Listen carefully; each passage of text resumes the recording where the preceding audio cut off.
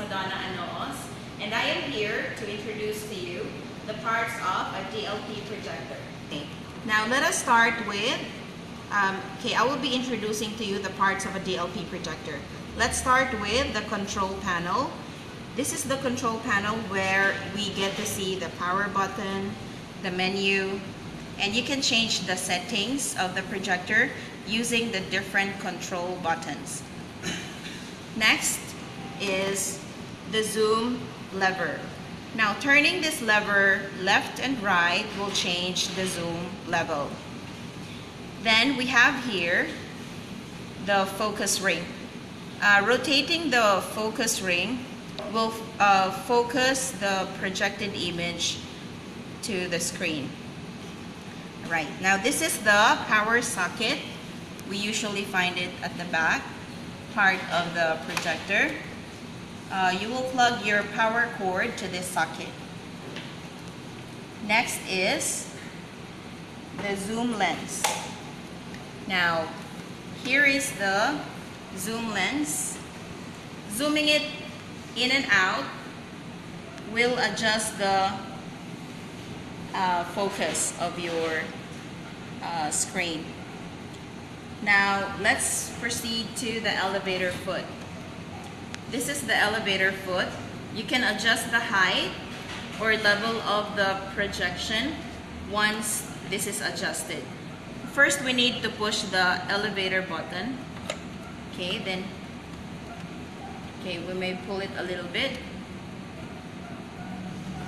Next, we have here the infrared receiver. It receives infrared signal from the projector to the remote control. Now, back part of the projector are the connection ports. Lets you connect your computer, video player, and video camera by using the available connection ports. Okay, tilt adjusting feed. So again, it's at the back. It lets you fine tune the display single by adjusting this tilt adjusting feet.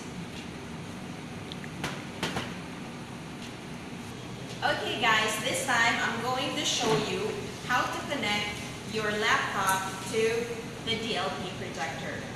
Um, we will be needing our cords. Uh, first we have here the HDMI cable. We have the power cord for the projector. Okay, first, I'll show you how to connect the HDMI cable. Okay, need to make sure it's in the right direction. Next, we need to find the other side. Here. Right. There you go.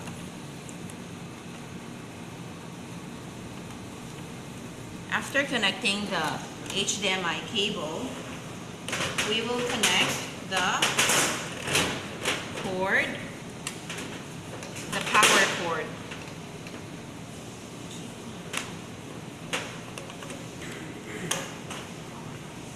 There you go.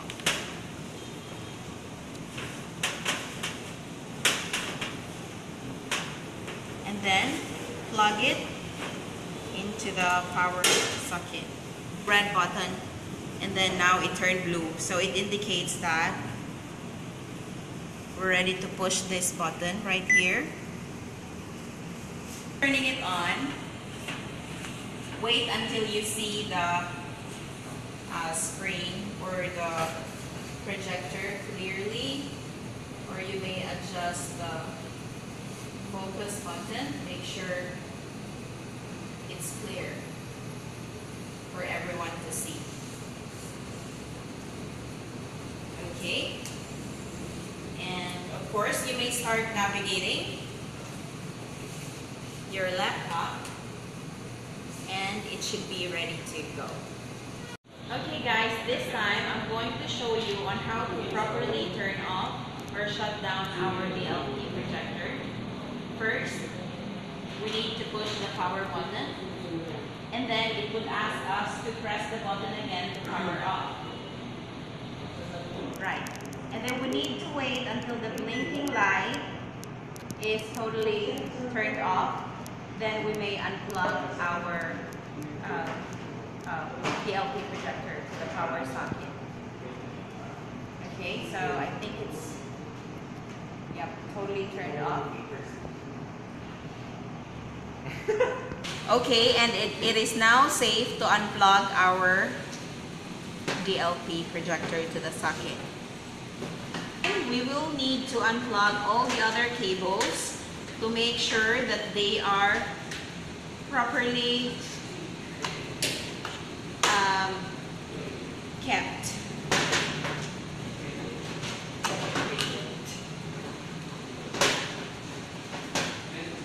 Okay, and for proper storage, make sure that the DLP projector is not that, uh, you know, not, not very hot, not too hot before we put it to its box for safety reasons. Thank you.